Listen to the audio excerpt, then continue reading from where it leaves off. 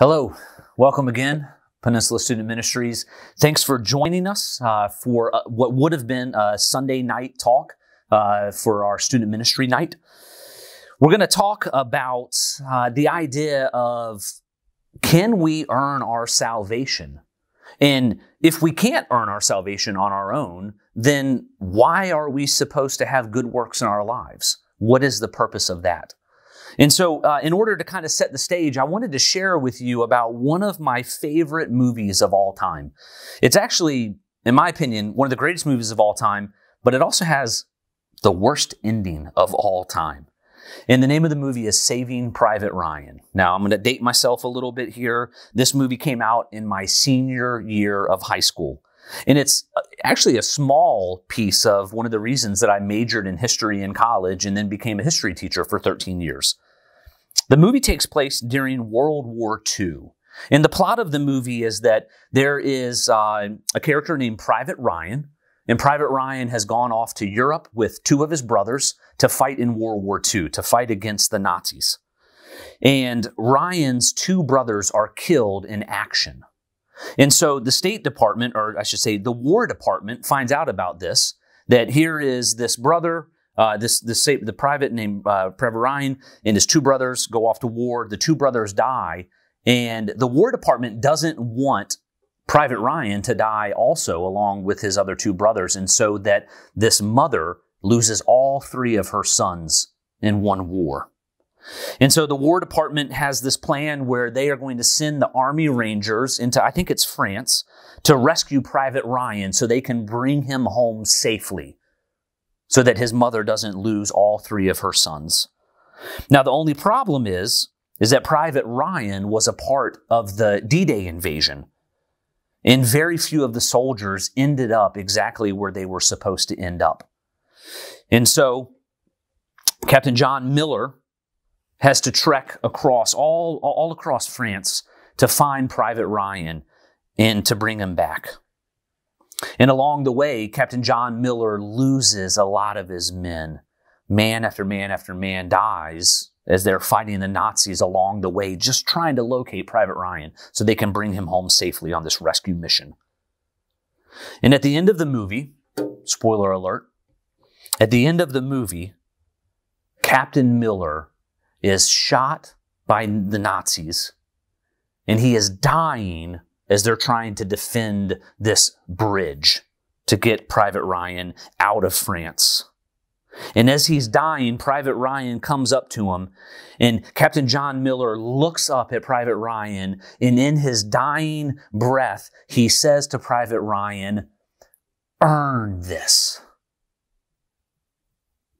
Earn this.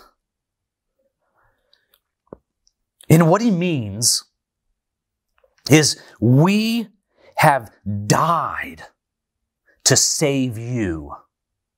Now you need to go earn what we have given you. And the reason that this crushes me is because it is completely contrary to the Christian faith. It is completely contrary to what we believe to be the core message of Christianity, which is that we can do nothing to earn our salvation. God sent his son to die for us. Jesus sacrificed his sinless life for us. And there is absolutely nothing that we can do to earn or to merit that. In order to make this point clear, we're going to look at uh, Titus chapter 2 today.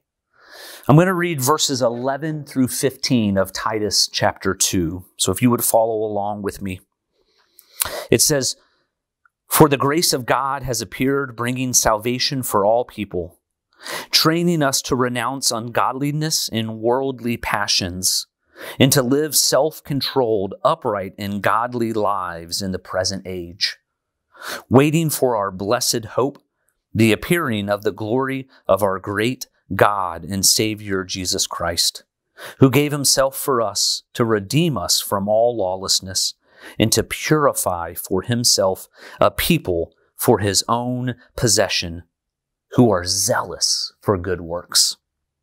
Declare these things, exhort and rebuke with all authority. Let no one disregard you. Please pray with me. Father, we again come to you and we need you, God, to speak to us. Father, these students do not need to hear from me today. My words are empty. My words uh, cannot give life. But God, my desire and my prayer is that they would hear you speak through your word in the book of Titus today, Father, that they would hear uh, the words of the Apostle Paul, which are your words spoken through him and spoken to us, Father. Written nearly 2,000 years ago, but as applicable today as they were then. And so, Father, would you help us to put aside distractions? Would you help us put aside stresses? Would you help us uh, to lay our worries, our anxieties, our fears at the foot of the cross right now, Father, so that we may understand more of you, God? We pray these things in your Son's name, amen. Well, verse 11 in Titus 2 tells us, For the grace of God has appeared. And this should lead us to ask the question what is grace? Grace is a free gift of God. Grace is free and undeserved. And unlike something that you earn, which we would call wages, if you work a job and you get a check at the end of the day, that's not a gift. Those are your wages. That's something that you have earned. Then we talk about grace being the free gift of God. What do you do to earn a gift? The, the answer is nothing. Because if you do anything, then it's no longer a gift. Grace is free and it is undeserved. You don't deserve it. And grace is given for the forgiveness of our sins. And that is something that God gives us daily. You see, grace isn't just a one-time gift that He gives us. He does give it. There is an initial point in your life where He gives you grace for the first time. But then the believer is given grace day after day after day. We have to daily look to the cross for grace because you and I are in daily need of God's grace. And it says that it brings salvation for all people. Well, how is God's grace given? We know that it's free and it's undeserved, but the mode of it is it is given through his son, Jesus Christ. God appears through his son who died to make peace between us and God. You see, because of our sin, fellowship between us and God has been broken. And Jesus has come to restore that relationship so that we no longer have to be ashamed in the presence of God because our sin is no longer counted against us. Our sins are forgiven. And so we can stand boldly in God's presence, knowing that Christ is our advocate, that he speaks on our behalf because he has given us that grace. If we are in Christ, then we can live in daily fellowship with him and we can find our satisfaction in Him daily. And there will be joy in our lives when we are in God's presence. We can't earn our salvation. This is so clear. It is a gift. We do not deserve it, but it is given to us. So then what do we do with all of these directives or these commands in scripture that tell us to live holy lives? Because that's one of the things that Paul is getting ready to do. He is explaining that grace is a free gift. The grace of God has appeared, he says in verse 11. It brings salvation to the world. But then in 12, he's going to get into ways that we should be living. And so I want to tell you that you cannot earn your salvation. But we are called to righteousness because of what Christ has done for us. So what does it look like to not earn this, but what does it look like to live a life worthy of the calling that God has put on our lives? And this is what Paul says in verse 12. He says, training us to renounce ungodliness and worldly passions and to live self controlled, upright, and godly lives in the present age. As we live before the cross of Jesus in our daily lives, we are to be living in a daily dependence on Jesus. And what will happen if, as you live in a daily dependence on Jesus, you will become more and more conformed to the character of Jesus. You will resemble Christ more as you rely on Him more. And this means that you will love the things that God loves. Examine your life for a moment. Examine the things that you spend your time on, that you spend your money on, that you give your passion to. Are they the things that God loves? Because if you are living in dependency on Christ daily, you will love the things that God loves. You will love peace. You will love justice. You will love hope. You will love these things. You will love reconciliation. You will love obedience. But you will also hate the things that God hates. And so when you examine your life, are you, do you love the things that God loves? And do you hate the things that God hates? Do you hate anger? Do you hate jealousy? Do you hate envy? Do you hate lust? Do you hate the things that God hates?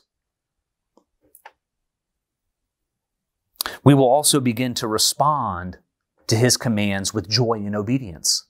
When you come across a command in scripture, is your reaction, ugh, do I have to do that? Or when you come across a command in scripture, do you respond with, yes, Jesus, that is the way that I want to live. I want to live in obedience to you. Do you find joy in obeying God? Or is it a burden? And also examine your life. When you get disciplined by God, do you hate his discipline? Or do you realize and accept God's discipline in your life as something that will help you produce more fruit in your life? Because one of the things that we hear in scripture is that he prunes those that he loves. And if you use this analogy of gardening, sometimes you have to cut away certain things in your life. And it hurts sometimes to cut away those certain sins in your lives. And, oh, I don't want to let go of that thing. You think and you're deceived by Satan that it's bringing some sort of peace or some sort of joy in your life. And so when God starts to cut away and discipline and to root out some of those sins in your life, it can be hard. It can be painful. But do you accept it? Do you welcome it? Because you know that it will produce more fruit in your lives. Verse 13 says, waiting for our blessed hope the appearing of the glory of our great God and Savior, Jesus Christ. You see, we have a hope, a future hope, that when we meet God face to face at the end of our time, that we will be covered by the blood of Jesus. That we will stand before a righteous and a holy God and we will be declared not guilty. And we will be declared not guilty on the basis of Christ's work for us. Do you believe that you will be covered by the blood of Jesus? We call this future grace. You see, Christ, God extends grace to us at the moment of salvation. When we put our faith and our trust in Christ, a grace has been uh, extended to us that saves us. And then daily in our lives, He extends grace to us on a daily basis. If we live our lives in dependence of Jesus and His work on the cross, if we live our lives, we like to use the language sometimes, if we live at the foot of the cross, we can daily experience His grace, His forgiveness of sins. We should be confessing sins to Him every day. But there is also a future grace that He has stored up for us. A future grace that when we meet him face to face, we will be declared not guilty. This is a hope that should encourage us to walk by faith and not by feelings. Our feelings can often deceive us. Our, our, our emotions can get us all tangled up sometimes. But when we study the Word of God, we can see how we are supposed to be living and we can read about truth that we can trust. And we're to be doing this as we are waiting for our blessed hope. In verse 14, Paul says, Who gave himself for us to redeem from all lawlessness. One way that we can identify with Jesus is by the fruit that we're bearing in our lives. One way that we can identify as, hey, I am following Jesus. We, if we're making that claim that, hey, I, I am a follower of Jesus, then we should be producing fruit in our lives. Fruit should be bared in our lives. Saying, just saying that we follow Jesus and bearing no fruit is not a good sign. He should be redeeming us from all lawlessness. We need to be submitting ourselves to God. And as we submit ourselves to God, He frees us from rebellion. The way that we constantly rebel against God, He frees us from that. He frees us from our self-centered desires. So many of us believe that we are the center of the universe and everything revolves around us and it is about me, me, me, me. That's lawlessness, y'all. That's you living for your glory, not God's glory. And when you are freed from your rebellion, when you are freed from all of your self centered desires, you will bear fruit in your lives. And so, is your life marked by sin only? Or are you bearing love in your life? Joy, peace, patience, godliness? Are these things that are coming out of you? Because he goes on in verse 14 to say, and to purify for himself a people for his own possession who are zealous for good works. When we commit to Jesus, when we come to put our faith and our trust in Jesus, we have a radical change in our identity. You see, apart from Christ, we are friends with the world. We do the things that the world says will bring us fulfillment, will bring us joy, will bring us happiness. And we know that those are lies. The greed, the envy, the jealousy, the, the, the strife, these things do not bring any completion to our lives. They draw us further from God. And so we can't be friends of the world and friends of God at the same time because when we are friends of the world, we are against Christ. And when we're against Christ, God is our enemy. But if you are in Christ, you are God's treasured possession. Do you feel like a treasured possession? Do you feel that your life has purpose and meaning? Because if you are a daughter or a son of the beloved King, then you should feel that way. You should know that Christ is for you, that God is with us, and we are His heir to the promises of Christ. We have eternal life in Jesus. And this fact this truth, this reality should spur you on towards good works. It's not good works so that I can earn my salvation. It is because of what Christ has done for me, I am able to do good works that glorify Him. Because He has rooted out the evilness, because He has rooted out the sin in my life, I am now able to live a life that glorifies God and I am bearing fruit in my life. We can see this when he says, declare these things. Are you declaring these things? Are you exhorting? And rebuke all authority. And it says, let no one disregard you.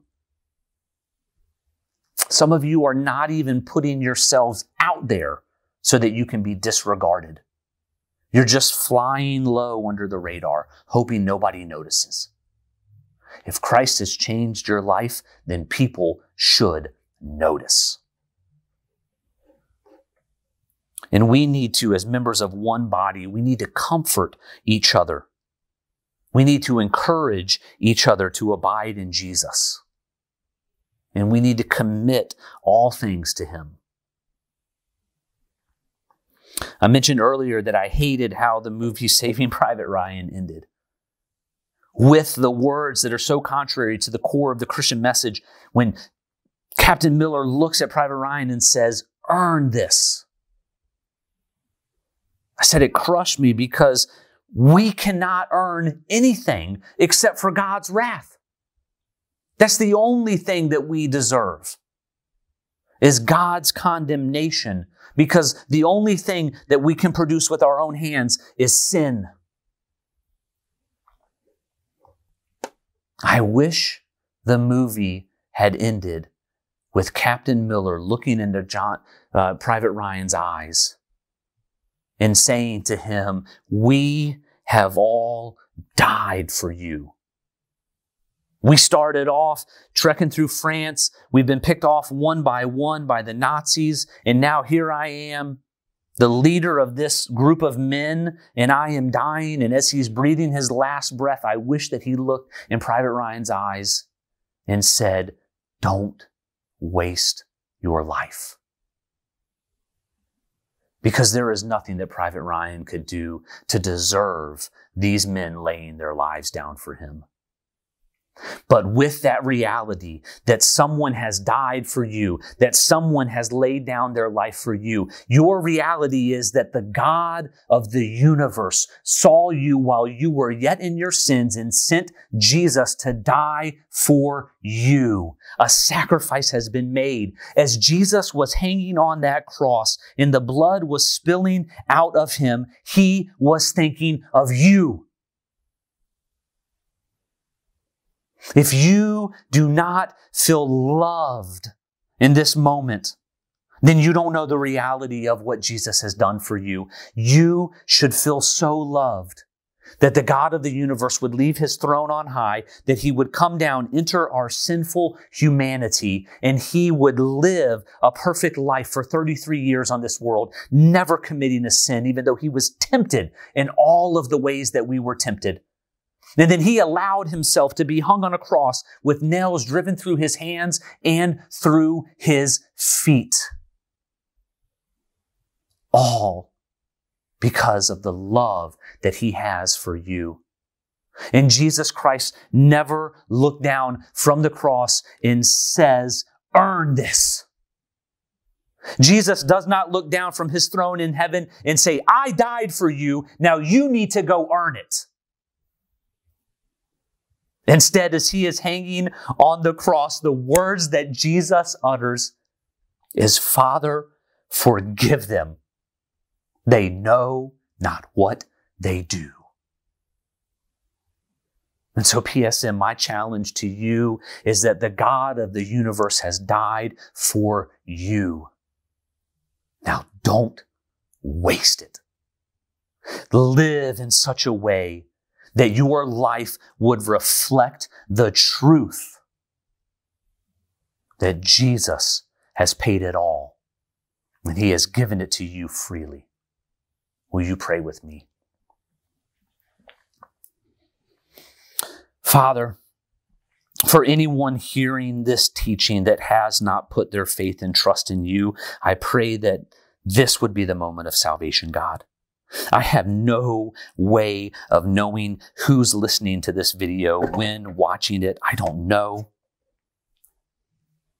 But I know and I trust God that you send Jesus to die for us. And so I pray, Father, that we would cling to that truth in this moment, whether for the first time or the thousandth time in our life, Father, would we hold firmly to the cross. Would we put our faith and our trust in you, Jesus, so that we would know that the world has nothing to offer us but pain, suffering, sin, torment, despair. That's what the world offers. That's all that Satan can give to us. But through you, Father, you offer us eternal life. And so I pray, God, that we would be changed in such a way that we would be conformed more and more to your character, God, that you would shape us more and more into the likeness of Christ, and that we would live for you, bearing fruit in our lives. We pray these things in your Son's name. Amen.